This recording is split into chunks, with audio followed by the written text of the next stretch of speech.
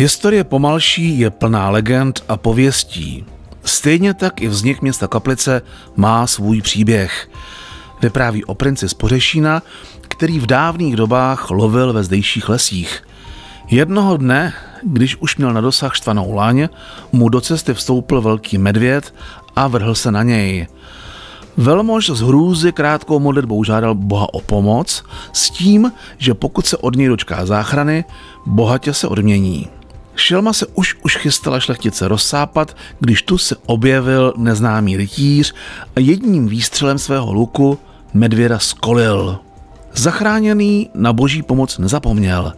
Zakrátko na tomto místě nechal postavit kapličku.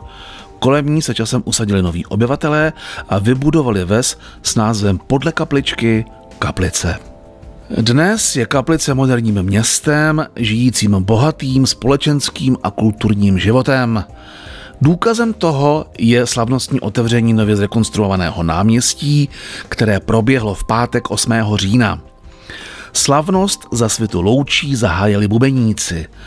Slavnostní pásku přestřihl starosta města pan Pavel Talíř a místo starostové pánové Josef Kaloš a Pavel Svoboda. Důležitým okamžikem večera bylo i nové vysvěcení náměstí.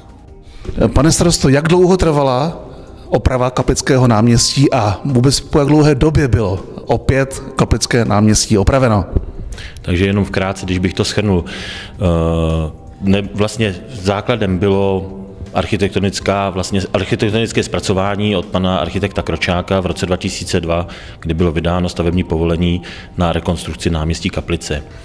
V tom roce, následujícím roce 2003, se začalo s prvotní úpravou náměstí a to bylo ta obvodová část, kdy byly vybudovány chodníky, protože v nich se rozváděl plyn. Samozřejmě náměstí bez centra není náměstí a ta bohužel od toho roku 2003 trvala až do, čekala až do dneška. To znamená, 10 let si musela počkat náměstí, než bude dokončeno celé tak, jak by mělo být podle projektu. Samozřejmě, že je důležité taky vědět, že poslední rekonstrukce náměstí proběhla v roce 1972, zabývalo starosty pana Nechvátala a to byla poslední úprava náměstí, která se tady udála. To znamená, že bylo náměstí vyasfaltováno, byly položeny kamenné desky a byla upravena kašna. Ke svým podaným promluvil i Petr Vok.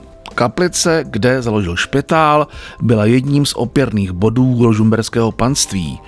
Město hrálo i významnou roli při převozu jeho těla po skonu v Třeboni. Když převáželi jeho ostatky k poslednímu odpočinku do Vyššího Brodu, dvořané z pohřebního doprovodu zde nocovali. Světelná show pod patronací radnice spolu s videomappingem věže byla pak vkusným vyvrcholením slavnosti. Při příležitosti otevření Kaplického náměstí proběhl v místním kině křest publikace Výlety Kaplickem proti proudu času. Duchovním otcem brožury spolu se svým kolektivem je pan Petr Odložil.